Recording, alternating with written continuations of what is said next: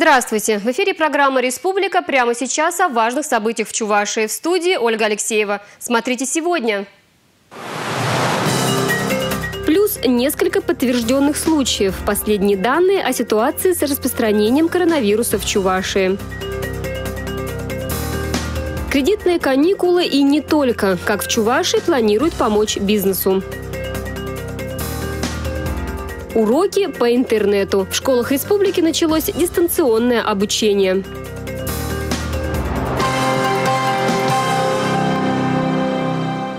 Ограничительные меры в борьбе с эпидемией обсуждались сегодня в Доме правительства. Поддержка предусмотрена социально уязвимым категориям граждан и бизнесу, приостановившему свою работу. Подробности у Дмитрия Ковалева. Пока обстановка требует работать в удаленном режиме. В Рио главы региона и члены правительства соблюдают установленные ими же рекомендации. В зале заседаний не больше 30 человек, включая телеоператоров. Уже на протяжении трех недель рабочее совещание транслируют в интернете. Для того, чтобы сообщать информацию оперативно, в прямом эфире нашего телеканала выходит сразу семь новостных выпусков. Ситуация с коронавирусом меняется стремительно. Только в режиме самоизоляции изоляции в республике находится более 500 человек. Контроль за теми, кто должен сидеть дома, усилят. Такие меры вполне оправданы. В постановлении, которое э, будет вручаться людям, которые будут находиться на самоизоляции, включили дополнительный пункт, что они обязательно постоянно должны иметь с собой мобильный телефон, потому что именно мобильный телефон является э, инструментом реализации режима дистанционного электронного контроля. 542 человека, это мы с вами должны иметь, что в любой момент из этого количества людей кто-то может дать положительный результат. А это автоматически по цепочке тянет количество наблюдаемых по последним данным Минздрава Чуваши, в регионе у 8 человек официально поставлен диагноз COVID-19. О четверых из них стало известно сегодня. Утром пришло подтверждение анализов супружеской пары, вернувшейся в марте из Доминиканы. Днем положительные результаты у одного из контактных лиц и жительницы Чуваши, вернувшейся из отпуска в марте. Все они госпитализированы, пациентам назначена терапия и оказывается медицинская помощь. В Чувашии проведено 2200 тестов на коронавирус. Сейчас в республике исследованием биоматериалов занимаются две лаборатории – Центр гигиены и эпидемиологии и Центр СПИД. Последний делает анализы только здоровых людей. Результат известен через 4 часа, и если он окажется положительным, больному и медицинским работникам об этом сообщают незамедлительно. Отбор материала от лиц проводят медицинские работники. Для этого необходимо обратиться в медицинскую организацию по месту жительства. К здоровым людям медработники приезжают не в специальных одеждах, а в обычной медицинской одежде. Обязательное проведение лабораторного обследования на новую коронавирусную инфекцию проводится лицам. Перечень лиц предусмотрен постановлением Главного государственного санитарного врача номер 9 от 30, 30 марта 2020 года. Проводится лицам, вернувшимся на территорию Российской Федерации с признаками респираторных заболеваний, контактировавшим с больным коронавирусной инфекцией, больным с диагнозом внебольничная пневмония, лицам старше 65 лет, обратившимся за медицинской помощью с симптомами респираторного заболевания, а также медицинским работникам, имеющим риски инфицирования. В настоящее время в республике только две лаборатории работают, но в ближайшее время откроется лаборатория при Кожвендиспансере и Республиканской клинической больнице. Тогда возможности лабораторной базы в республике будут расширены, и граждане могут сдавать анализы уже без показаний, если у них есть сомнения и хотят проверить. Например, если они приехали из Москвы или были э, в контакте, или были в аэропорту, например, в Москве, и считают, что у них э, была возможность заразиться. А тех, кто был в контакте с явными больными, обследуем лаборатория, Центр гигиены и эпидемиологии. В любом случае материал берет медицинский работник, и он уже определяет, в какую лабораторию ввести тот или иной анализ.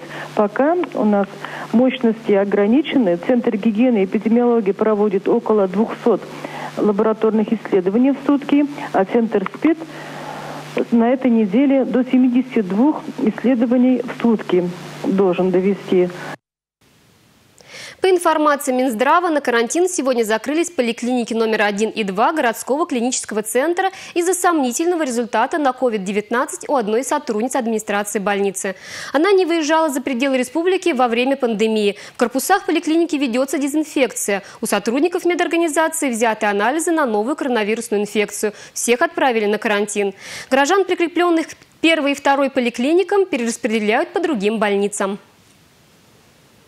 С 6 апреля школьники Чуваши учатся дистанционно. Наша съемочная группа побывала в столичной школе номер 61 и увидела, как это работает. Платформа «Сетевой город», предложенная для обучения, с утра дала сбой, но потом вернулась в обычный режим.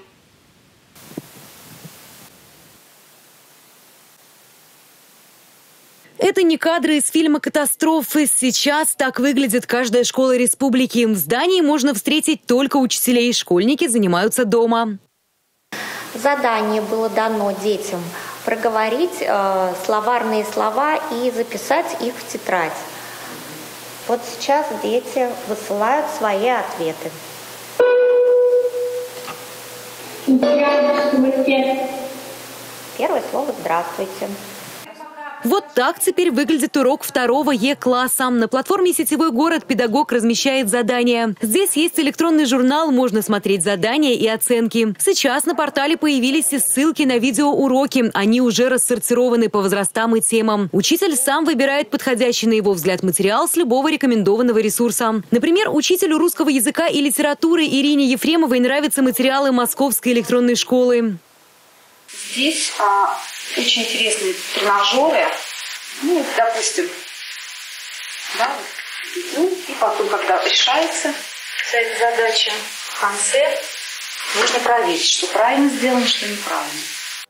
Ученик самостоятельно занимается на тренажерах, выполняет задания, отправляет ответы и получает оценку. Как признаются сами учителя, структура урока не изменилась. А, все задания, которые необходимо выполнить э, детям по расписанию, а расписание все занятия проходят по 30 минут, э, выкладываются в сетевом городе. Если у детей нет доступа к интернету, э, то дети получат задания с помощью телефонов. Школьники могут и задать вопрос учителю или ответить устно. С помощью системы Zoom некоторые уроки проходят в режиме видеоконференции. Так, сегодня 8 В изучал основы программирования. Итак, Максим, что нового сегодня ты узнал на уроке?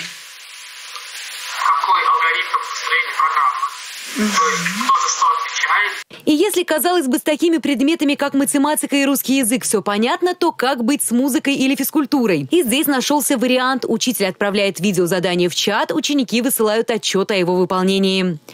Начинаем. Возможно, заниматься физкультурой дома школьники и их родители будут еще минимум месяц. Предварительно такой режим продлится до конца апреля. Задать все вопросы, касающиеся дистанционного обучения, можно по телефону 23 42 37. В управлении образования создана специальная горячая линия. Юлия Важенина, Валерий Резюков, Республика. По возможности не оставлять без присмотра детей, которые сейчас на дистанционном обучении. Об этом родители просят сотрудники МЧС. Несчастный случай произошел в Маргаушском районе. Там утонул ребенок. В данный момент э, не все водоемы освободились от льда. Это пруды, озера, карьеры. Оставшись без присмотра, мальчик 2011 года рождения вышел э, на лед пруда в деревне Шомикова Маргаушского района, провалился и, к сожалению, погиб. А мы еще раз хотим напомнить детям и взрослым, что водоемы – это не место для игр, и нужно соблюдать правила поведения на водных объектах. Начиная с 4 апреля рабочие дни объявлены для крупных предприятий, оказывающих прямое влияние на экономику республики. Организациям, приостановившим свою деятельность из-за пандемии, окажут поддержку. Таким кредитом.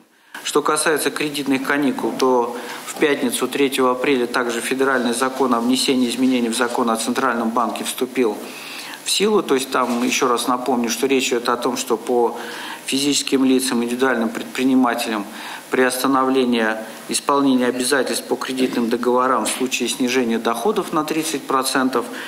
А, ну и а, по субъектам малого бизнеса, которые относятся к отраслям также э, появляется право приостановить исполнение обязательств по кредитам. Дополнительно по господдержке запускаются две программы, которые также помогут сохранить бизнес. Это кредитование на, по определенным условиям на предоставление зарплаты под нулевую ставку и так называемая программа «одна треть, одна треть, одна треть», когда сам заемщик уплачивает треть процентной ставки, а треть берет на себя а, банк и государство. То есть все эти программы в работе, условия как бы формируются, заявки принимаются и а, на сегодняшний день все банки, да, так сказать, готовы к реализации этих мер господдержки. Александр Соловьев, Андрей Спиридонов, Республика.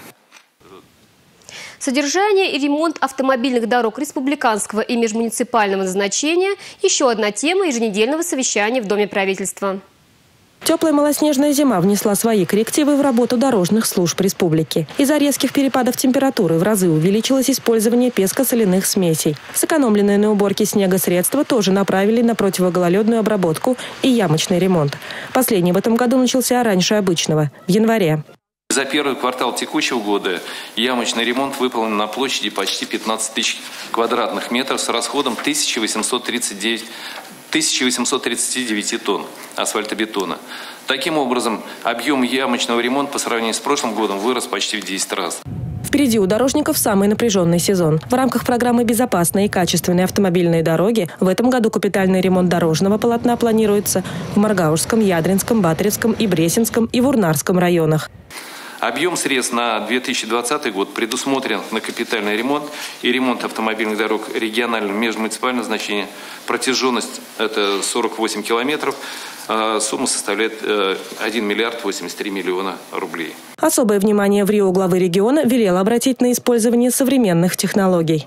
И коль мы оплачиваем, тем более уже увеличиваем расценкой на содержание единицы дороги, то давайте соответствующие условия будем выставлять и по технологиям обеспечения производства этих работ. Богдана Дойникова, Андрей Шоклев, Андрей Спиридонов, Республика.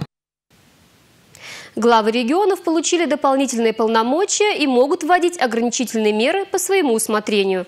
В частности, устанавливать особый порядок передвижения на соответствующей территории лиц и транспортных средств. Уже подписан указ временно исполняющим обязанности главы Чувашии. Въезд в Чебоксары ограничили с помощью усиленных постов ГИБДД.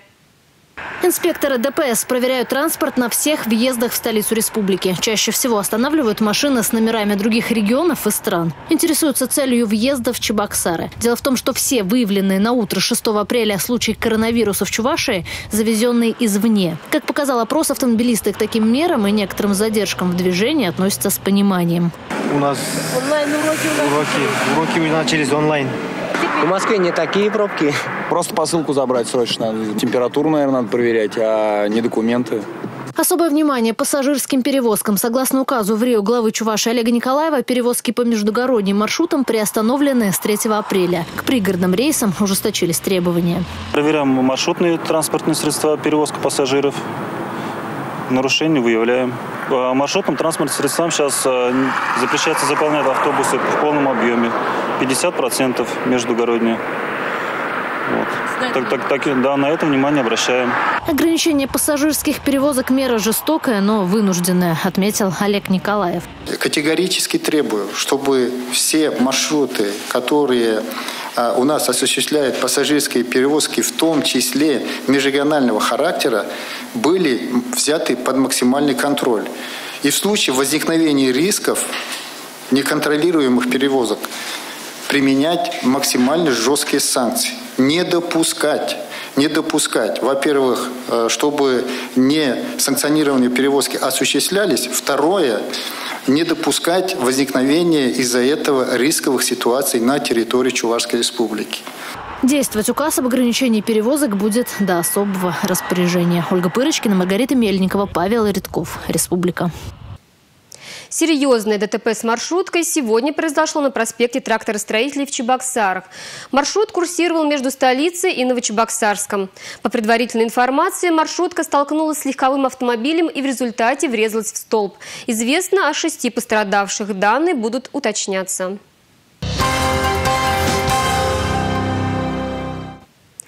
Крупное промышленное производство тракторов малой и средней мощности планируют наладить в Чувашии. Основные вопросы представители республики обсудили сегодня с Минсельхозом и Минпромторгом России, депутатом Государственной Думы Анатолием Аксаковым в режиме видеоконференц-связи. Создание крупного производства в республике планируется совместно с итальянской компанией «Сейм». Проект позволит полностью заменить на российском рынке тракторы белорусских производителей. Жители Чуваши новое крупное предприятие обеспечит рабочими местами. Их планируют создать не менее 500.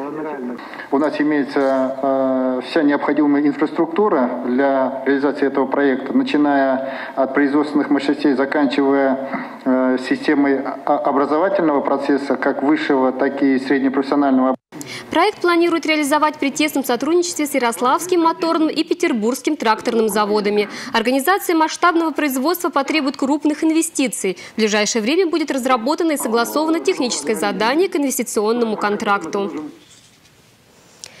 Минстрой России опубликовал индекс качества городской среды за 2019 год. Оценивались 1115 российских городов. В их числе 5 городов Чувашии, Чебоксары, Новочебоксарск, Канаш, Алатырь и Ядрин. В сравнении с прошлым годом они улучшили свои позиции, набрав больше баллов. В Приволжском федеральном округе Чувашия заняла первое место и девятое в России. А столица республики удостоилась первого места в округе среди крупных городов численностью населения от 250 тысяч до 1 миллиона миллиона человек. В республике стартуют сразу два конкурса – управленческая команда и команда молодых лидеров – Напомним, 10 февраля 2020 года прямо во время встречи в Рио главы Чуваши Олега Николаева с участниками конкурса «Лидеры России» был подписан указ о проведении республиканских конкурсов управленческой команды «Команда молодых лидеров». С 16 апреля до 15 мая на сайте leader.cap.ru будет доступна электронная регистрация для участников. Там же можно будет узнать информацию об условиях проведения конкурса. Это все, о чем мы успели рассказать вам сегодня. До свидания.